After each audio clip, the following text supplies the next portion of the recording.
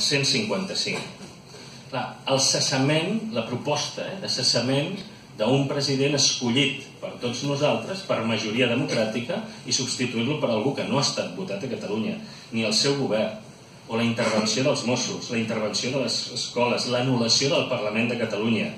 És a dir, l'aniquilació total, absoluta, del poble de Catalunya. Això és un cop d'estat.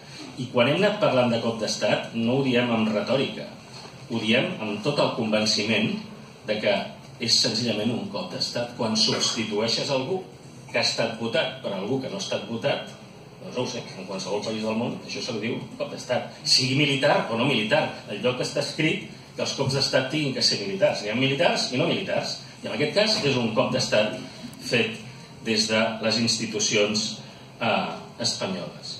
Eh,